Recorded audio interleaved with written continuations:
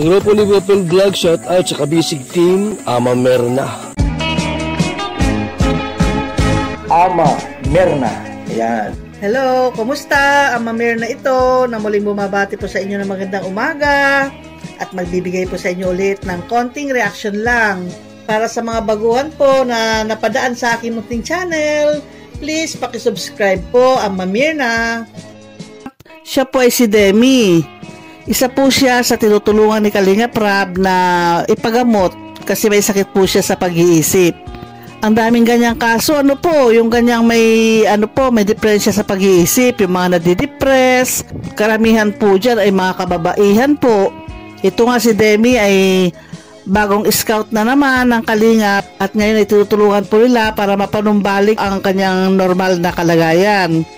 Karamihan po sa mga natulungan ng Kalingap ay mga kababaihan po. Ang daming mga kasong ganyan. Ano ho, Sigurado kaya depress ang isang babae dahil siguro sa iniwan ng kanyang asawa o boyfriend, niloko ng asawa o boyfriend. Ganyan po naman karamihan.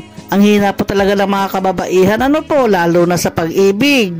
Ito ang si Demi ay kakaiba sa mga tinulungan ni Kalinga Prab kasi siya po ay wild. Hindi kagaya ni Lavina Morales, ni Jenny Lynn, ni Robilyn, yan, ni Reyna, na hindi po nagiging wild. Hindi po tumatakbo, hindi po malikot. Samantala ito si Demi, ang likot-likot po niya. Kaya po sila naghahabulan dyan sa kalsada mga kalingap kasi dadalhin nga nila doon kay doktora. Ipapacheck up po siya. Doon po sa bahay nila ay lagi po nakakulong yan si Demi kasi pag pinapalabas po o hindi siya nakakulong ay ang dami raw po niyang nasisira. Eh siyempre naman pag nakasira siya, babayaran ng magulang niya kung ano yung na-damage niya. Kaya ang ginagawa para safe ay yan, kinukulong po nila si Demi.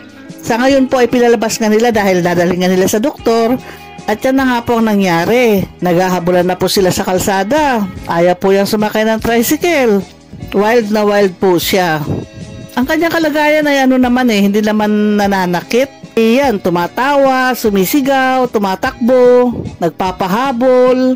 Ayaw po yan sumakay ng tricycle kaya hinahabol ng magulang at saka yung ibang mga kapitbahay doon o mga kalingap na nandoon. Iba-iba po talaga ang kalagayan ng mga nadidepress. Ano po, yung iba tahimik lang, nakaupo lang, nakatingin lang, nakatitig lang sa'yo.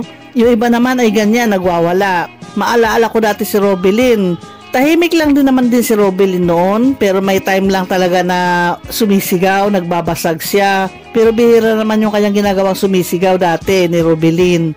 Lagi lang siyang tahimik pag dinadalo ng kapitbahay, dinadalo ng kalingap, ay nakatingin lang siya, hindi siya umiimik. Ito naman ngayon si Demi ay kakaiba naman po. Talagang ano, takbo dito, takbo doon, tawa. Kakaawa naman po ano yung kalagayan niya.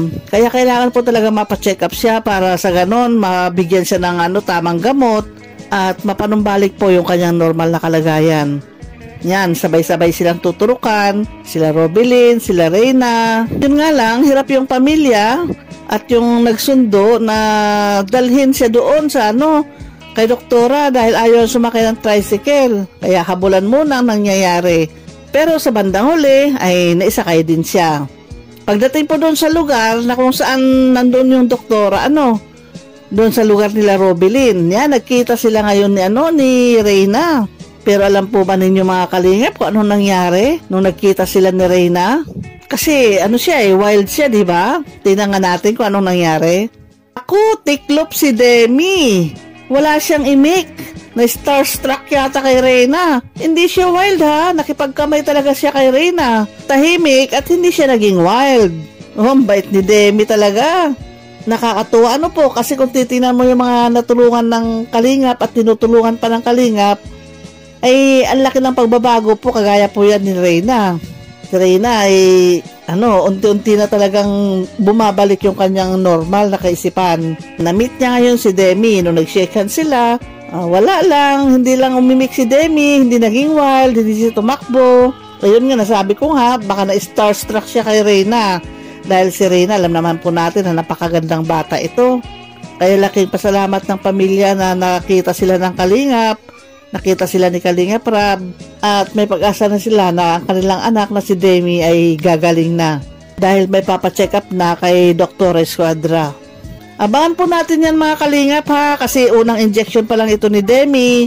Tasahan po natin na sa unang turok na yan ay magkaroon na po siya ng konting pagbabago. Sana nga po ano ho, kung wild man siya ngayon, itong mga darating na araw po, sigurado po magiging tahimik na po siya. Asahan po natin yan mga kalingap. Hanggang dito na lang po ang aking video. Salamat muli sa inyong panonood. Bye-bye!